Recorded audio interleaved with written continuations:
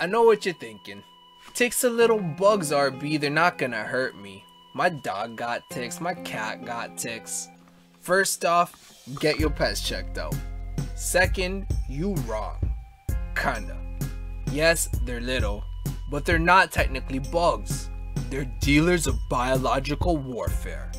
And you should be afraid. To understand why, first let's begin with the what.